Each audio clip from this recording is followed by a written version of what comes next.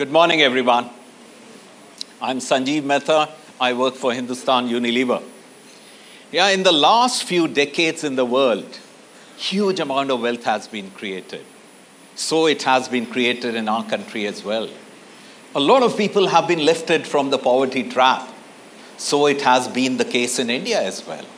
Yeah, in the last 20 years, about 20% of our population has come out from the poverty trap and gone into the lower middle class.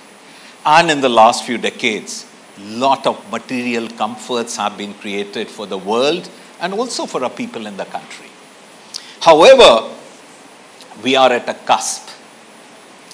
We could, this generation, could have a calamitous honor of presiding over a generation where we have caused irreversible damage to our planet.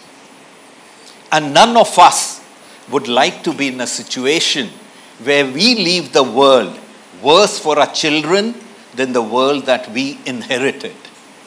If we look around us, we are talking about spewing about 110 million tons of man created pollutants in the air every day. If we look around us, we are talking about putting 8 million tons of plastic in the sea every year. We are talking of a scenario where there'll be more plastic in the ocean than the fishes. We are talking about a world where 800 million people go to bed hungry every day. And this is in a world where today the obese people are more than the malnourished people in the world. Despite the fact that every six seconds a person dies because of malnutrition. We are talking of a world where 42 people have as much wealth as three and a half billion people in the world. We are talking of a world where three Americans have as much wealth as the bottom 160 million Americans. We are talking of India where 55% of the population has got only 10% of the total consumption. That's the scenario we are facing. We are facing where we could end up damaging the world. We are talking about inequality, where we are talking about non inclusive growth. However, I am a born optimist.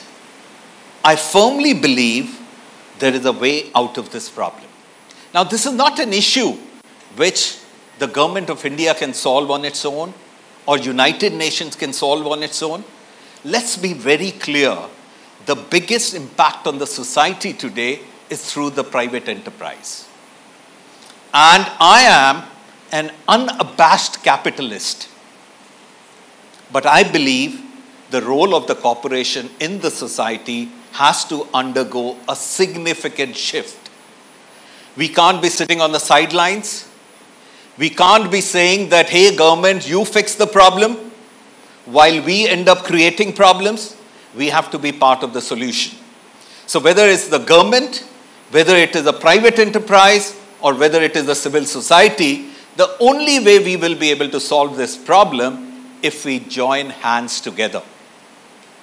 I also firmly believe that whenever there is a binary choice, good or bad, good always prevails. That is humankind.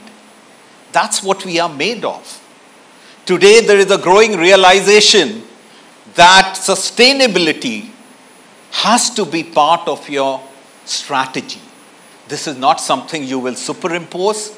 This is something where you have to have a business model where the positive impact on the society and reducing the adverse impact on the environment has to be core to your thinking. This is not about CSR. This is about creating a new business model. This is about not running alone. This is about collaboration. This is about coming together, joining hands, and finding solutions to problems which hitherto have been intractable. Today, there are technologies which weren't there with us earlier. all of us are conscious that the cost of renewables are coming down dramatically.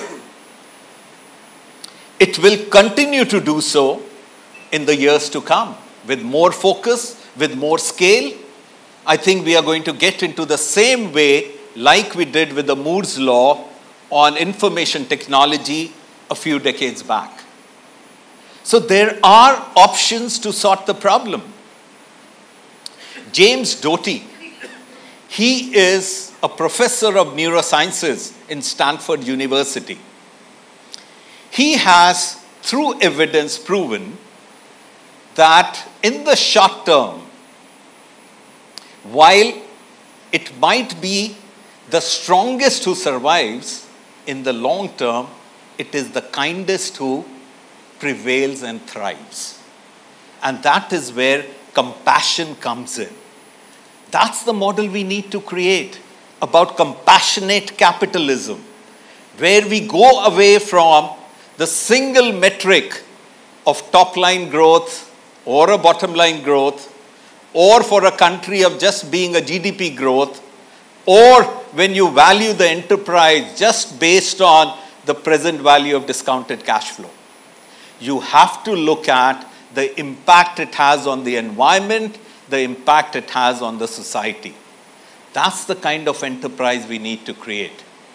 I work for a company called Unilever, where about nine, ten years back we unveiled our sustainable living plan. It had a very simple goal.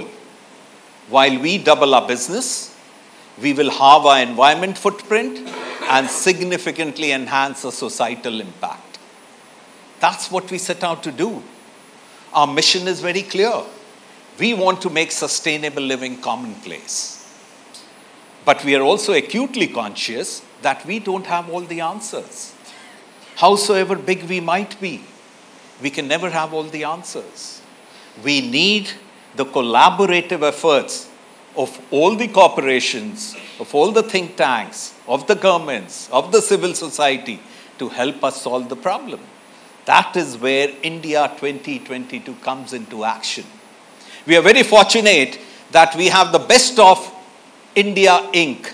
joining hands, from the Tatas to the Birlas.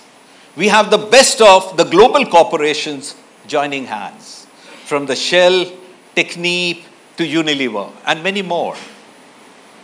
The whole intent is that we join hands collaboratively in a connected fashion.